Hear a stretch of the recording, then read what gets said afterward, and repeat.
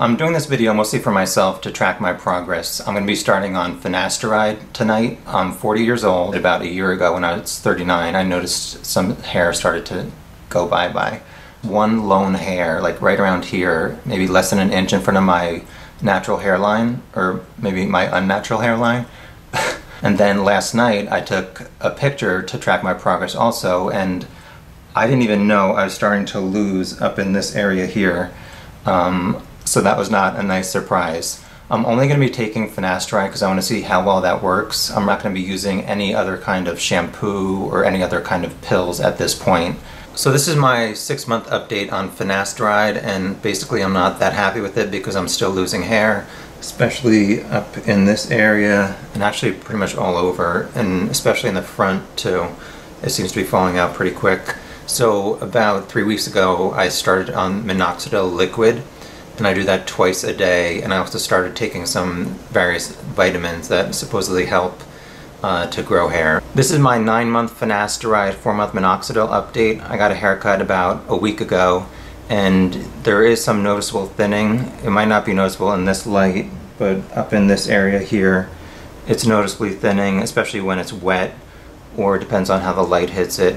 I was taking some additional vitamins for about maybe two months and I didn't really think there was a noticeable difference, but it's been about a month that I've been off of those, and I might start taking up some of those again soon, like Viviscal and some of the other stuff that I was taking. This is my two-year finasteride update, and I've been on minoxidil for about a year and a half, although over the past six months or so, I'd say I've kind of slacked on putting the minoxidil in. So right now, in the morning, I take finasteride and a Viviscal pill, and I take Viviscal at night. I stopped with the other vitamins like the pumpkin seed oil and the various wax stuff um, because I wasn't really seeing that it was making a difference and it was kind of expensive. So I put the minoxidil foam in in the morning since it seems to dry quicker and at night I'll do the minoxidil liquid with a dropper. I still haven't really noticed any side effects of the finasteride and unfortunately one of the side effects doesn't seem to be growing hair because you'll see I'm still losing in the corners mostly and actually the whole entire front and some in the back. I mean, in general, it looks like I have a somewhat full head of hair, which I guess at now I'm 42 years old, so it's not that bad, but it's definitely still falling out. About a year and a half ago, I also tried the HairMax laser comb for about maybe six months, I think. And I didn't notice any difference, so I sent it back for a refund and I don't recommend it. So it's now been three years that I've been on finasteride, and in about two months it'll be three years that I've been on minoxidil and I've been doing these update videos and I still haven't uploaded any of them so I'm going to finally put them all together and upload this stuff so people can actually see what my progress was and what tips I have for them.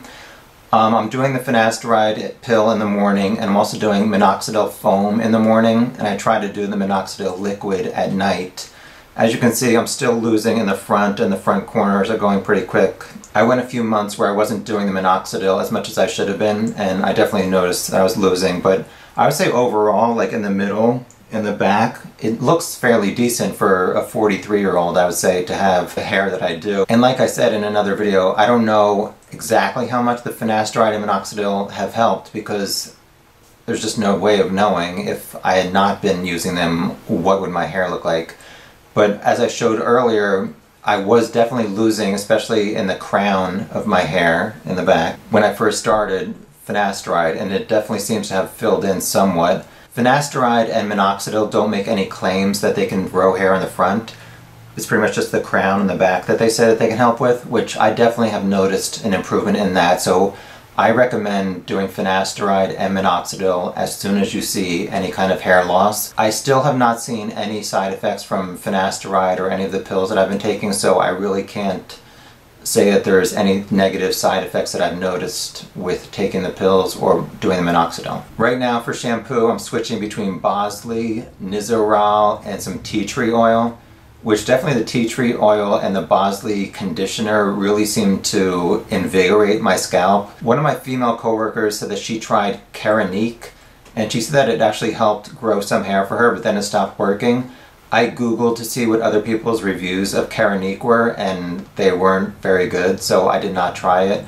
Let me know down in the comments below any kind of pills or shampoos or anything that you found helpful that might be able to help other people. Thanks.